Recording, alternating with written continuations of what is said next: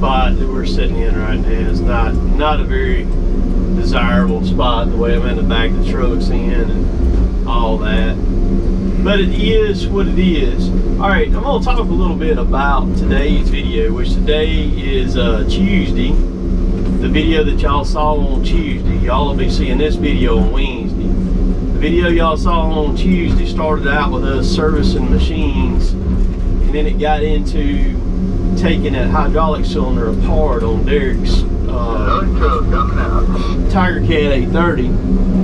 All right, so here's the lowdown on that. Of course, we, we got him back going uh, today. Uh, put the put the cylinder back back together today and got it back going. You cannot break those nuts on those cylinders. I guess you you could, you can, but not without a lot of rigging.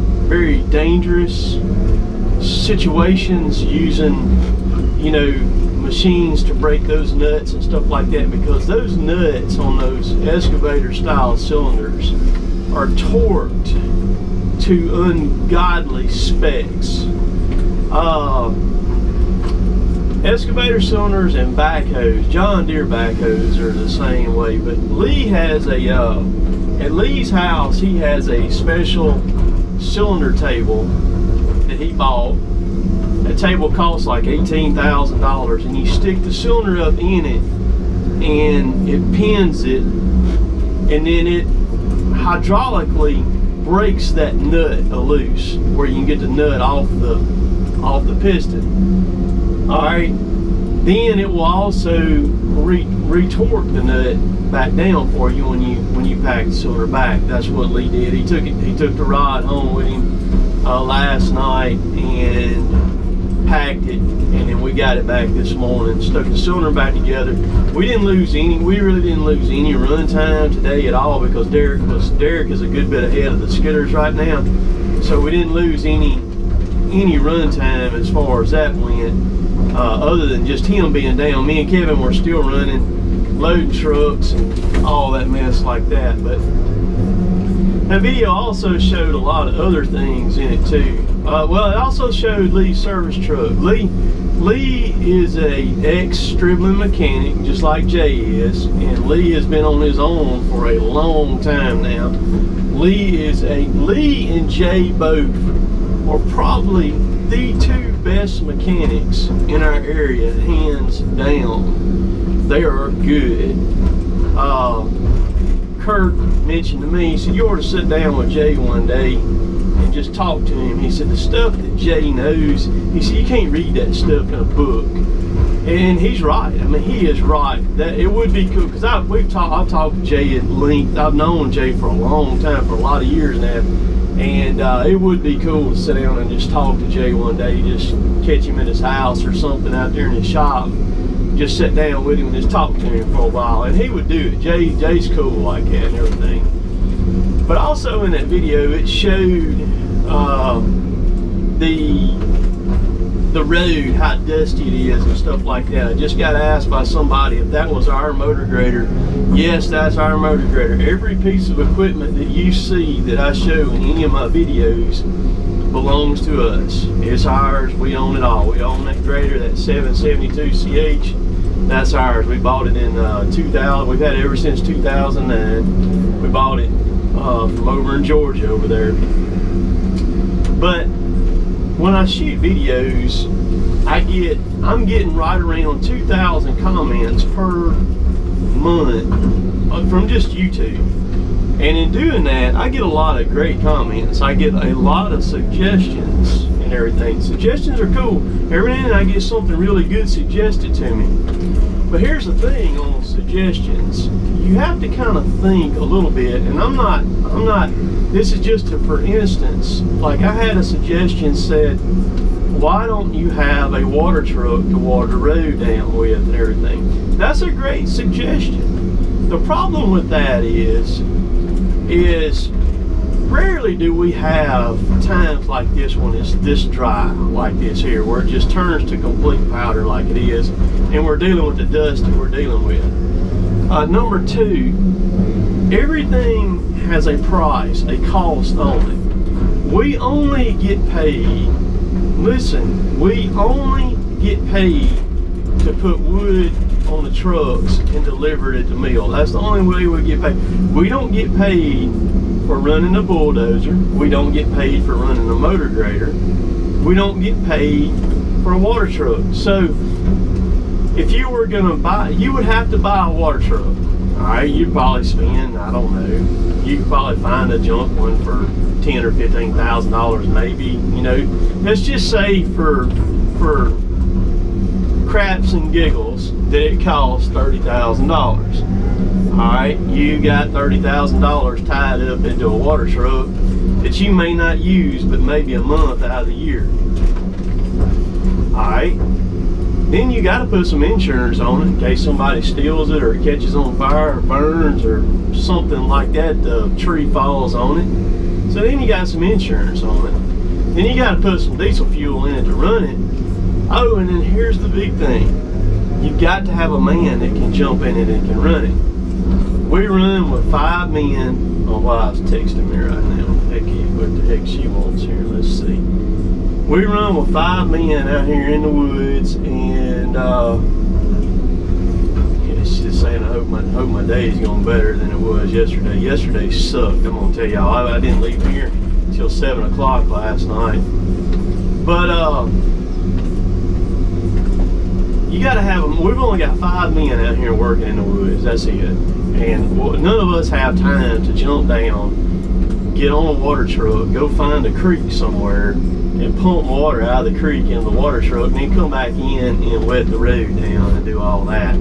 It's just not feasible. Anything, like I said, anything you do like that has a cost to it. And so you have to figure in are you gonna are you gonna get paid for that or not? In our case, no, we're not.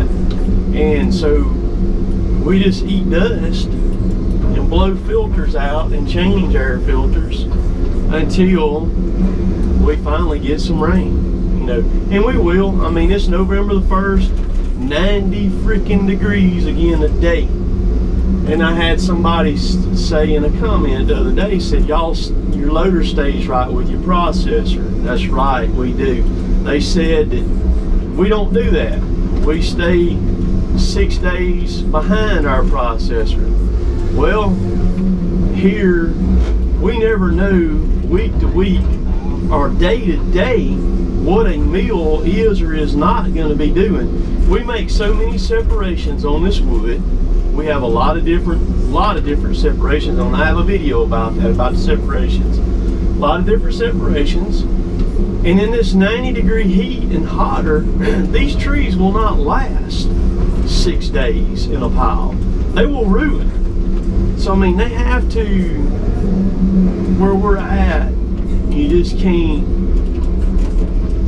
you know, you just can't let that wood lay like that for that amount of time like that. Because I mean, man, this pine right here will dry out so fast, and then if it if it blues on you, if it turns blue on you, you can't you can't. Only thing you can do with the wood is take it for put for pulpwood, like what I'm loading right here. This is just tops and and dead pieces and stuff like that. And then I had a guy today in a comment said, why don't you get a small chipper and chip and cover your cover your decks with wood chips and use them on your road. Well, there again, that's a cost. It's a cost. You got to buy the machine. There's no telling what a small chipper costs. You got to buy that thing, and you got to put fuel in it then you got to feed trees in it. And then you're to have wear and tear on knives. You got to keep knives up.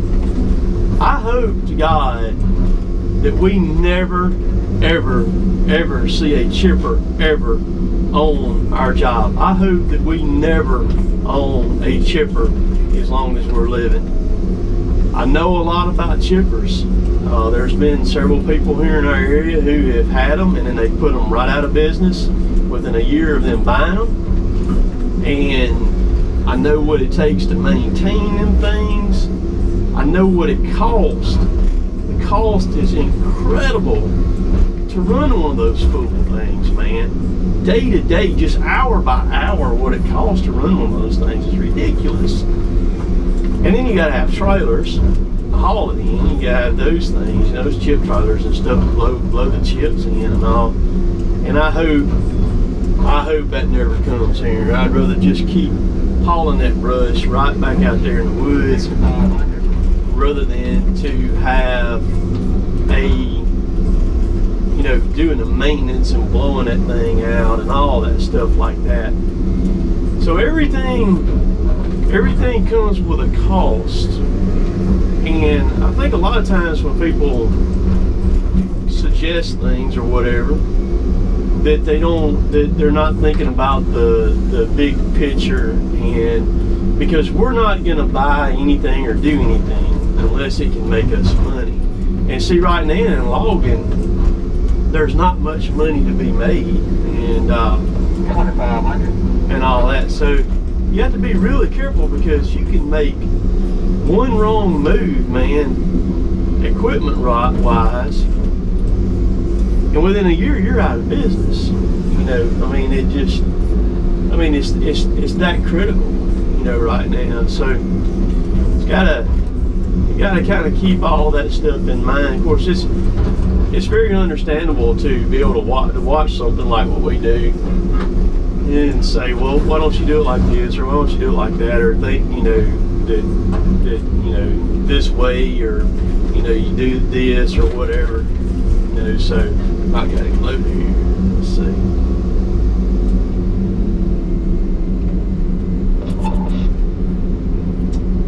Come Frank. What you got? What you got there, Frank? About 1800. Yeah, about 1800. So anyhow, I hope that uh, helps this video right here maybe helps some people understand, you know, a little bit more in depth on uh, on some of that stuff like that to where because a lot a lot of it don't make sense what we do, the reason why we do some of the things that we do, and uh, uh, you just have to kind of understand it from a uh, you know from a logging standpoint, from a business standpoint. You know, I mean, this is a uh, this is a business, and and then kind of another aspect too is, we'll watch this truck pull out here.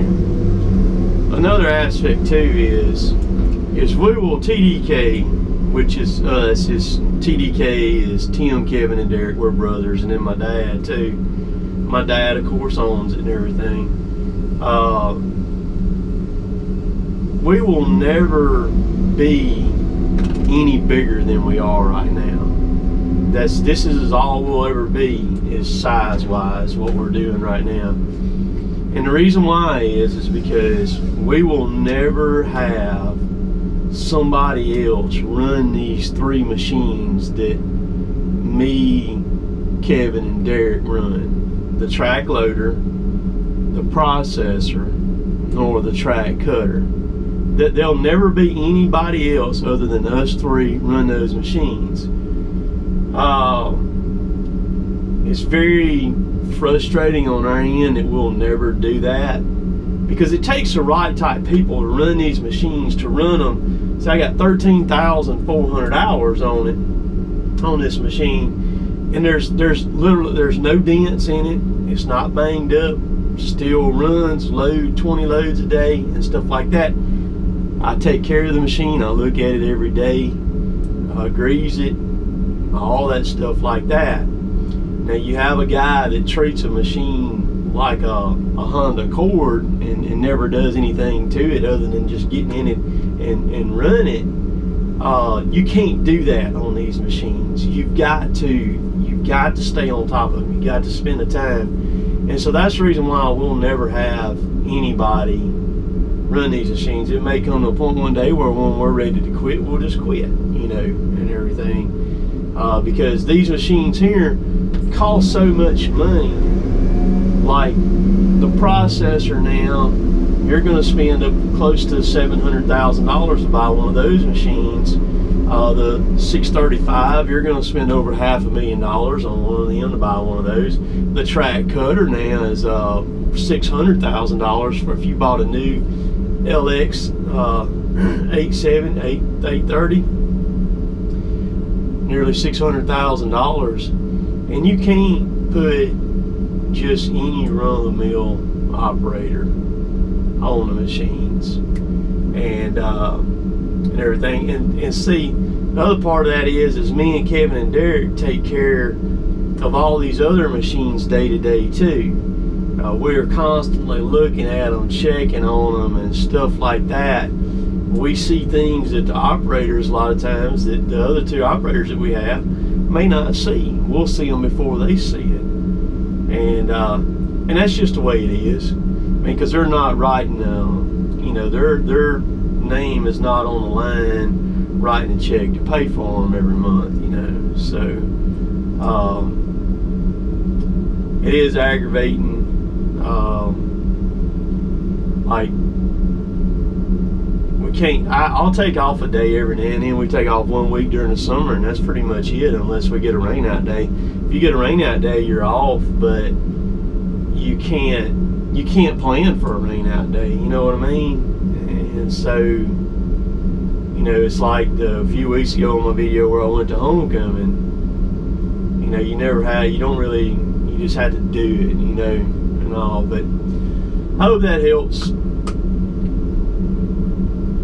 maybe understand some things. Because uh, I know I got a lot of new subscribers, a lot of people that, that watch my stuff, a lot of people watch my stuff that are not subscribers, a lot of people because uh, YouTube YouTube really promotes my videos uh, on a lot of different searches, and I can tell that by the views that some of them are getting and everything like that, and the algorithms and stuff. But uh, so just kind of it ain't this ain't nothing I haven't went over before. So y'all be good. You can see all the dust right there, man. Heating them air filters up, boy. Heating them air filters up. Y'all be good. We'll catch y'all later. Later, taters.